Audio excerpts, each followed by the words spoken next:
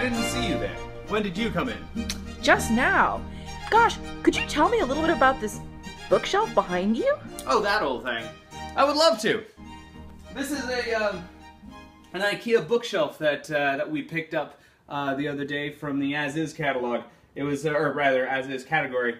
It uh, was in the As Is just because this black shelf. So what we decided to do is turn it into a booze bookshelf. And how? Right?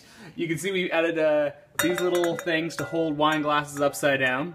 Uh, and then we also picked up some uh, some wine bottle holders from uh, Crate and Barrel. And they just so happen to be the same color as the shelf. How perfect. Now, uh, that's all fine and good, but the problem is, when you turn the lights off, it's a little bit dark.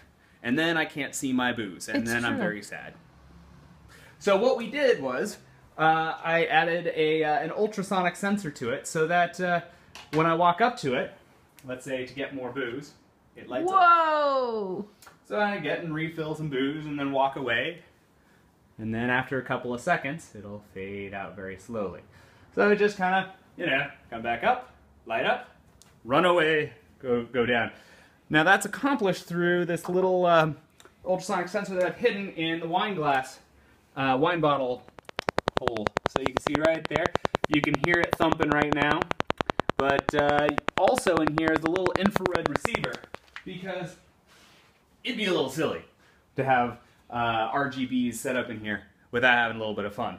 So this little SparkFun infrared remote, I can create a dance party. Wow. And there's a few programs on here. So there's that one, which is just random. And then there's one that uh, just crossfades all of them between colors. And then there's another where I can just set the, the color the way, the way I want. So, and then turn it back to the uh, original program, which lights up when I walk up to it. That's really cool, Jeremy. Thank you. So that's our booze bookshelf.